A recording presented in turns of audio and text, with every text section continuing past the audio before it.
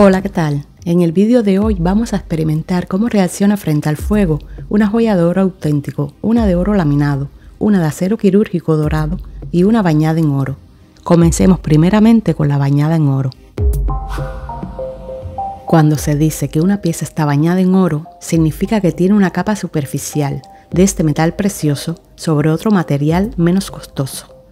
Esta técnica se utiliza a menudo para lograr la apariencia lujosa del oro a un costo mucho más asequible. Podemos observar un cambio drástico en su apariencia. El dorado se desvaneció revelando el color cobrizo del cobre, que fue el metal utilizado para fabricar este pendiente o arete. Esta transformación nos revela que no estamos frente a una pieza de oro. Pasemos al acero quirúrgico. Este metal es ampliamente reconocido por su resistencia y dureza, a veces incluso considerado indestructible. No obstante, exploraremos cómo responde su recubrimiento dorado al desafío del fuego, teniendo en cuenta que el color natural del acero es gris plateado.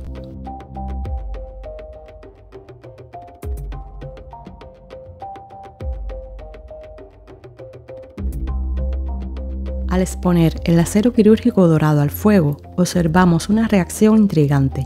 Aunque el acero en sí es conocido por su resistencia al calor, la aparición de manchas negras indica que su capa dorada reaccionó de manera única ante la intensidad del fuego. Este fenómeno resalta la importancia de comprender la complejidad de las joyas, ya que los recubrimientos adicionales pueden comportarse de manera diferente en situaciones extremas. Ahora vamos con el pendiente de oro laminado. Recordemos que las joyas de oro laminado están compuestas por láminas de oro aplicadas con calor y presión sobre otro metal más económico. Este método proporciona una alternativa más accesible a las joyas de oro sólido, ofreciendo mayor valor, durabilidad y calidad que las opciones de baño o chapa, que son simplemente versiones menos costosas del oro laminado.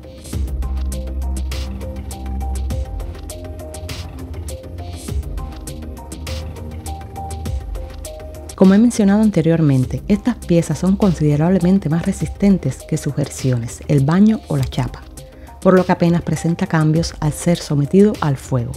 Sin embargo, vamos a llevar esta prueba un paso más allá para explorar hasta qué punto puede mantener su integridad ante condiciones más rigurosas.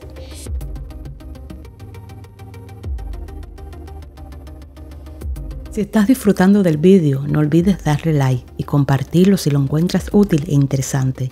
Recuerda que tu apoyo es fundamental para el canal.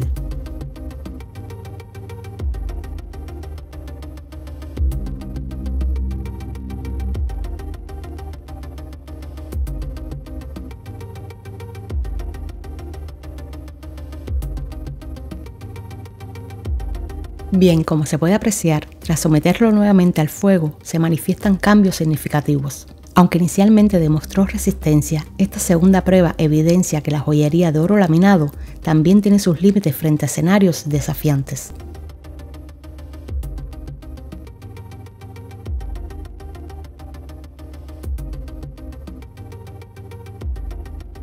He reservado para el final el oro sólido, un metal enormemente valorado, que debido a su escasez, rareza y demanda históricamente alta, ha mantenido su precio en el mercado en niveles notablemente elevados desde las primeras civilizaciones.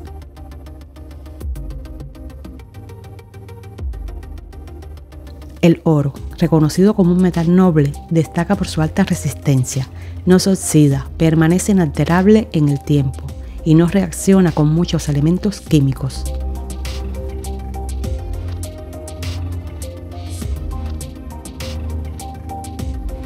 Este metal precioso destaca por su extrema resistencia al calor y por conservar su estructura sólida incluso a elevadas temperaturas. Aunque su punto de fusión es relativamente bajo en comparación con algunos otros metales, es importante señalar que esta propiedad no compromete su estabilidad en el uso diario. Tras someter el pendiente de oro al fuego, la única evidencia que podemos ver es una ligera sombra superficial que al frotar suavemente con el guante desaparece por completo. Este breve episodio resalta la notable capacidad de este metal para recuperar su resplandor original inclusive frente a pruebas severas. En resumen, al poner a prueba tanto el oro sólido como sus imitaciones en cuanto color, hemos llegado a la conclusión reveladora de que solo el oro auténtico demuestra una resistencia inigualable ante la prueba del fuego. Espero que hayan disfrutado de este fascinante experimento. Sus comentarios son muy valiosos, así que no duden en compartir sus impresiones. Muchas gracias y hasta pronto.